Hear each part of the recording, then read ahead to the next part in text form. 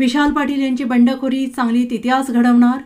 सांगली लोकसभा मतदारसंघात एकोणीसशे एक्कावन्नपासून दोन हजार एकोणीसपर्यंतच्या अडसष्ट अडुसष्ट वर्षात एक्याऐंशी उमेदवारांची अनामत रक्कम जप्त झाली.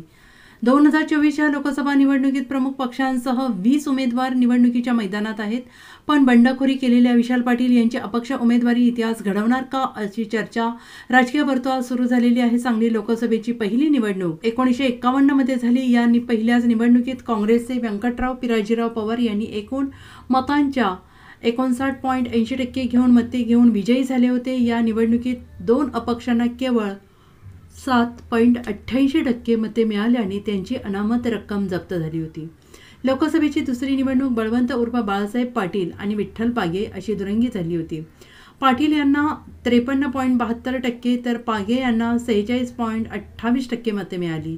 या निवडणुकीत तिसरा उमेदवारच नव्हता. एकोणीसशे बासष्ट आणि एकोणीसशे सदुसष्टच्या निवडणुकीत प्रत्येकी चार उमेदवार रिंगणात होते.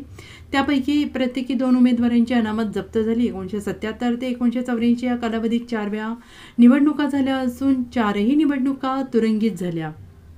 तिसरा उमेदवारच मैदानात नव्हता. यामध्ये एकोणीसशे ऐंशीची निवडणूक वसंतदादा पाटील विरुद्ध विश्वासराव पाटील अशी झाली.